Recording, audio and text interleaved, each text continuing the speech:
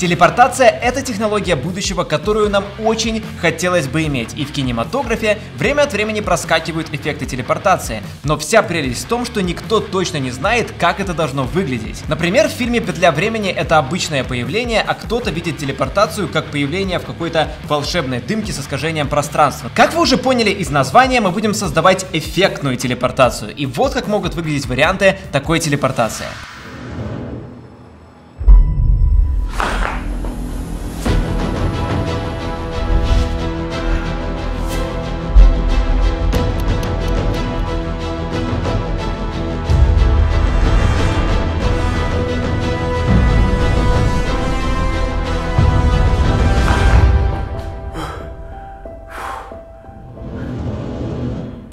Всем привет, меня зовут Артур Вишневский и добро пожаловать в Asus Studio. Здесь мы научим тебя обработке видео, фото, визуальным эффектам, 3D-моделированию и дизайну. Неважно, начинающий ты или профессионал, здесь ты точно найдешь для себя что-то новое. Переходи по адресу asus.studio, чтобы посмотреть все доступные уроки. Для такого эффекта телепортации мы сняли три кадра. Первый, где я пробегаю мимо камеры, якобы залетая в портал, и в конце кадра мы немного задержали камеру, чтобы получить пару секунд пустого фона. А в помещении кадр, где я выбегаю из портала, и третий кадр пустой. Мы постарались как можно точнее повторить движение камеры второго кадра. Когда мы получили готовые кадры, мы закидываем их в программу для композитинга, в нашем случае это Adobe After Effects, и создавать эффект мы будем на ноутбуке Asus ZenBook Pro Duo. Он отлично подходит для выполнения различных творческих задач, благодаря второму экрану ScreenPad Plus, который увеличивает рабочее пространство и благодаря характеристикам, включая процессор Intel Core i9. Он легко поддерживает высокую производительность при одновременном запуске сразу нескольких приложений на основном и дополнительном экранах и обеспечит абсолютно плавное переключение между ними. В итоге перед нами в After Effects находятся три кадра. Кадр с экстерьером, кадр с интерьером и кадр с фоном для композитинга. И в моем случае я сначала бегу справа налево, а потом выбегаю на камеру, но в вашем случае это может быть любое другое движение. Может быть человек в кадре выбегает справа налево, а может быть вообще падает сверху вниз и выпадает в помещение. Техника, которую я сейчас вам покажу, подойдет под любые вариации движений. И чтобы нагляднее показать вам, как сделать такой эффект, давайте перетащим кадр с интерьером на наш таймлайн. И первое, что нам нужно сделать, нам нужно найти точку, где мы хотим, чтобы закончился эффект с телепортом. В моем случае я хочу вот здесь, нажму Ctrl-Shift-D, чтобы разрезать этот кадр. То есть все, что идет до, будет нашим эффектом телепорта. Выделяем нижний слой, переходим в анимацию и трек камера. Здесь мы выбираем второй пункт вариативный зум. И ждем пока плагин сделает 3D трекинг нашего кадра. Находим плоскость на стене, которая нам больше всего нравится, жмем правой кнопкой мыши и жмем создать Null и камеру. И между первыми двумя слоями мы разместим наш фон. Я нажму правой кнопкой мыши Time freeze frame. То есть теперь это фотография. И смотрите в чем дело, когда камера подходит к этой стене, сзади на фоне виден параллакс, поэтому в идеале оставлять видео. Но видео подойдет только в том случае, если вы сможете идеально повторить это движение приближения, как и в основном кадре. Если у вас не получилось это идеально повторить, как у меня, тогда сделайте это фотографией. И после того, как мы сделали это фотографией, мы сделаем этот слой 3D слоем. То есть теперь наше статичное изображение фона приделано к главному фону. Используя масштаб положения и повороты, сделайте так, чтобы это статичное изображение совпадало как можно точнее с основным фоном. И если вы сделали все правильно, у вас получится быстрое появление. Но у нас здесь появилось две основных проблемы. Первая проблема это параллакс. Обратите внимание на стеллаж сзади, как меняется перспектива этого стеллажа. Это как раз связано с тем, что статичный кадр снят дальше. И в итоге мы получаем не совсем плавный переход. Идеально устранить мы это не сможем, но мы сможем сделать его чуть плавнее. Растянем этот слой вот сюда, нажмем T на клавиатуре, поставим кифрейм у непрозрачности, передвинемся назад, поставим непрозрачность на 0%, выделим оба кифрейма и нажмем F9, чтобы смягчить эти анимации. Затем делаем дубликат нижнего слоя, перетаскиваем его на самый верх и меняем название на все тело. Но давайте сделаем эффект, как будто бы человек проходит сквозь стену. Если представить, что вы будете проходить сквозь плоскую стену, то части вашего тела будут постепенно проходить сквозь эту стену через такие овальчики. Ровно это мы и будем делать, а сделать это можно с помощью ротоскопинга. И теперь найдите кадр, где вы хотите, чтобы начинался эффект телепортации, то есть где человек начинает проходить сквозь эту стену телепорта. У меня это вот здесь, где сначала начнет появляться кулак, а добавлять маски и делать ротоскопинг на ZenBook Pro Duo удобно на его втором экране ScreenPad Plus, потому что он тоже сенсорный и в комплекте идет ручка-стилус. Обрежьте кадр на этом моменте. Затем сделайте дубликат этого слоя и нижний растяните чуть-чуть подальше. И обрежьте его на этом моменте. Верхний кадр мы назовем левая рука. Давайте сначала сделаем ротоскопинг всего тела. Жмем два раза на этот кадр, выбираем инструмент ротоскопинга и обводим все тело.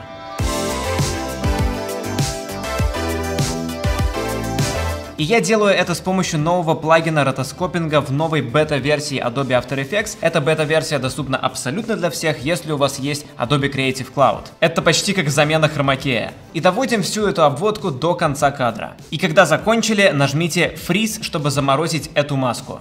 Делаем дубликат левой руки, называем это правая рука. Правая рука начинает появляться где-то с этого момента. Делаем дубликат, называем голова.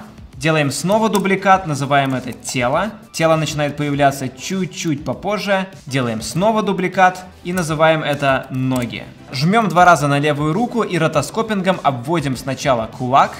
Передвигаемся на один кадр вперед, обводим чуть-чуть побольше. Зажимая Alt можно вырезать лишнее. Потом передвигаемся снова на один кадр вперед выделяем снова больше. И таким способом мы проходимся по всем конечностям, как будто бы они плавно проходят сквозь стену. И если вы сделали все правильно, то у вас получится что-то такое. Как будто вы пролазите сквозь портал. И в целом для кого-то это может быть будет уже достаточно, но мы хотим сделать это эффектно, как и было заявлено в названии. Поэтому мы добавим такую светящуюся обводку портала, искажение пространства, какие-то графические элементы, что вы проходите сквозь реально какой-то крутой портал. Так что мы выделяем все эти слои, жмем правой кнопкой мыши, Precompose, назовем это Артур Рото, ну или ваше имя. Выберем второй пункт и убедитесь, что галочка включена. Жмем ОК. И теперь мы можем начинать делать нашу магию. Делаем дубликат этого слоя и называем его Артур Обводка. Переходим в раздел Эффект, Стилизация, Find Edges. Жмем инвертировать и увидим такие белые границы. Это явно что-то демоническое. Потом снова переходим в раздел стилизации и выбираем Threshold я поставлю где-то на 70. Наша цель сделать такую белую обводку. Если белая обводка видна, то это хорошо. Следующий плагин находится в разделе Keying и называется он Extract. Здесь мы выберем альфа-канал и будем устранять альфа-канал. Уменьшайте white point до тех пор, пока не увидите только белую обводку. Теперь нам нужно заставить эту обводку светиться. Снова переходим в раздел стилизации и находим Glow. Здесь я выберу цвета A и B, и внизу вы можете выставить любой цвет, который вам хочется. Например, может быть зеленый. И поиграйте с верхними тремя значениями до тех пор, пока не будете довольны. Потом сделаем дубликат этого плагина, чтобы усилить свечение, сделать его таким неоновым. И мы снова добавляем плагин Extract. Только в этот раз ставим параметр Luminance. Black Point увеличиваем очень сильно, чтобы пропали эти черные участки. И напоследок переходим в раздел Blur и Sharpen и добавляем Gaussian Blur. Я поставлю где-нибудь на троечку. И теперь мы светимся. Ура!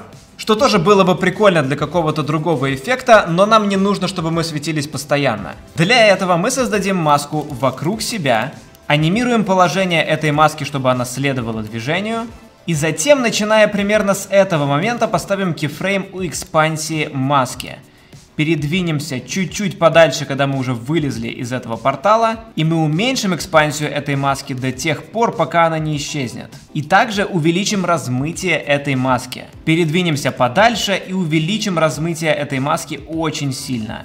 Где-нибудь на 70. Это создаст такой прикольный эффект, как будто мы проходим сквозь этот портал. Создание качественных визуальных эффектов заключается в проработке деталей, а для этого необходим очень важный инструмент – монитор с высокой детализацией и точной светопередачей. На ZenBook Pro Duo основной экран – это 4К сенсорный OLED-экран, здесь расширенный цветовой охват и точная светопередача, подтвержденная специальной сертификацией. И для кого-то такого перехода будет уже достаточно, но мы хотим больше, мы хотим сделать эффектный, еще более эффектный портал. Так что мы делаем дубликат слоя Artur Roto, Нижний переименовываем в Артур искажение, выключаем видимость этого слоя и создаем новый корректирующий слой. Назовем его искажение 1. У нас будет два вида искажения. Первое, которое идет вокруг вашего тела, второе более масштабное, такое и на корректирующий слой мы добавим следующий плагин. Переходим в эффекты, Distort и находим здесь Displacement Map. Меняем здесь на Артур искажения и Source на эффекты и маски. Если вы будете увеличивать эти два значения, то будет меняться искажение, но скорее всего вы сейчас ничего не увидите, потому что этот кадр сейчас сверху. Чтобы нагляднее было, давайте вот эти два выключим. И это какой-то человек-невидимка, давайте еще сильнее это увеличим. И чтобы сделать такое искажение более ярко выраженным, давайте выберем вот этот слой Артур искажения и добавим сюда Gaussian Blur. Увеличивая это значение, мы будем еще сильнее искажать, добавлять смягчение этому искажению. Также мы сюда добавим кривые и выберем альфа. Поднимем альфа еще сильнее, чтобы прямо оно так сильно выделялось. Включим обратно два верхних слоя и поиграем со значениями в Displacement Map, чтобы это сильнее было видно. Возможно, сделаем дубликат Displacement Map, чтобы еще сильнее это сделать. Главное, убедитесь, чтобы на моменте, когда вы уже вышли из этого портала, это значение у Displacement Map было на нуле. Что-то такое мы уже с вами имеем, но давайте добавим еще более сильное искажение. Создадим новый корректирующий слой и назовем его искажение 2. И снова в разделе Distort найдем плагин Bulge. Вы увидите такой кругляшок, давайте увеличим его масштаб. И так как кадр у нас динамичный, мы анимируем положение этого кругляшка. Ставим кифрейм у центра этого кругляшка, переходим подальше и перемещаем его где-нибудь сюда. Также мы увеличим радиус побольше, чтобы смягчить границы этого круга, а это значение увеличивает искажение в плюс или наоборот в минус. Мы хотим сделать, чтобы оно вот как перепонка вот так колбасилось. Поэтому в самом начале мы поставим 0. Когда человек начинает появляться, мы сделаем минус.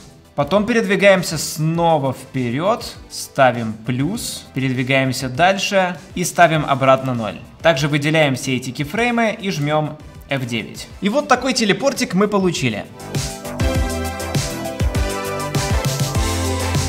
И теперь вы можете сюда добавлять, по сути, что угодно. Любой элемент телепорта. Это может быть как в Докторе Стрэнджа такое кольцо, которое крутится. Может быть какое-то электричество вокруг бегает а может быть какая-то дымка появляется. Такие футажи можно легко найти на стоковых кадрах, например, Envato Elements, Adobe Stack или Storyblocks. Например, у нас есть вот такой футаж, перетащим его на наш таймлайн, и вон, уже сразу выглядит круто. Жмем F4, меняем режим наложения на Add, делаем его 3D слоем, немного поворачиваем, чтобы не было этого бага. Можно его еще как-то покрасить, анимировать масштаб и получить вот такой прикольный портал. И мы почти закончили наш эффект, куча элементов накопилась на таймлайне, это очень сильно начинает давить на производительность компьютера, но ZenBook сейчас отлично справляется, потому что у него опять же процессор Intel Core i9, 32 ГБ оперативной памяти, видеокарта NVIDIA GeForce RTX 2060, SSD PCI Express и так далее. Все характеристики вы найдете по ссылке в описании. Но что насчет второго кадра на улице? По сути, все точно так же, за исключением очень важного момента, и это как мы устранили человека в кадре. Есть один волшебный инструмент в After Effects, о котором не все знают. Переходим в Window и находим вот он. Жмем на него, и по сути все, что нам здесь нужно сделать, это создать маску, обвести человека в кадре, через кифреймы анимировать движение этой маски Зададим начало и конец там, где нам нужно. Поменяем режим маски на Subtract.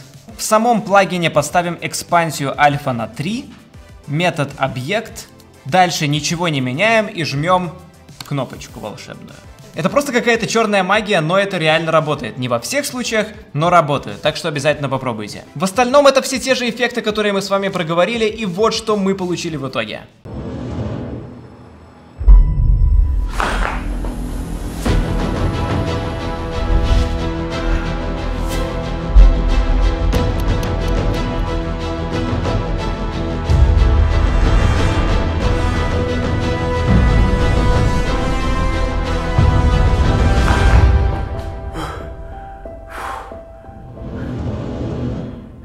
Забывайте, что на Asus Studio вы найдете еще больше обучений по созданию фото, видео, 3D-моделированию и дизайну. Переходите по ссылке в описании и увидимся в следующем выпуске. До скорого!